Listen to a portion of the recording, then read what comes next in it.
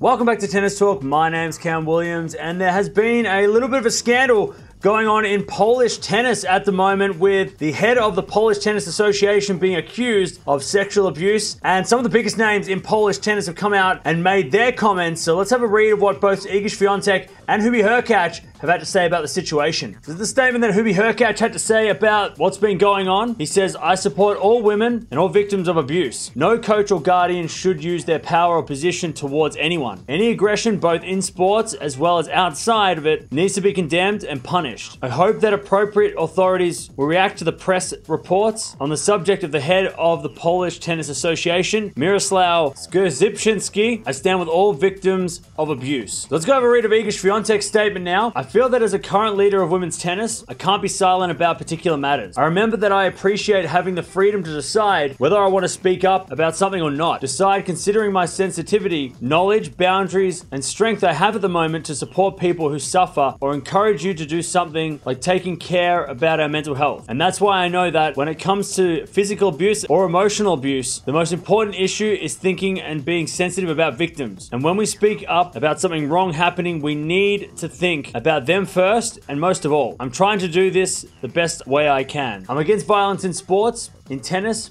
in every discipline, and in everyday life. That's why I consider the articles about the president of the Polish Tennis Association a, a, serious matter. Governing bodies should determine what happened, and I hope they will take care of this case after the media wrote about the story of people who they talked with. This is not my role to do the work of governing bodies and journalists, as the matter is too serious and it's about people's life and health. What I feel I can do is to encourage you to look for help when something bad happens in sports communities and in every situation in life when there is a possibility possibility that someone can suffer from physical violence or emotional abuse. If someone suffers because of it, the most important thing is to take care of themselves and seek support. There are hotlines and organizations helping people who suffer because of violence. This can be my role, and this is how I can use my influence here, being a voice who tries to educate and remind that the most significant thing is to look for help when you need it. It's crucial to be sensitive to people who suffer from violence, especially if they don't have tools and strength to speak about it openly. It's crucial to be alert, to speak up, and try to help when we witness someone suffering. Personally, I was lucky to not experience such difficult, terrible situations, and I'm grateful for my dad and for how wisely he managed my career. I have an amazing team, safety, and currently I'm really privileged, but I'm aware that not every athlete could have the same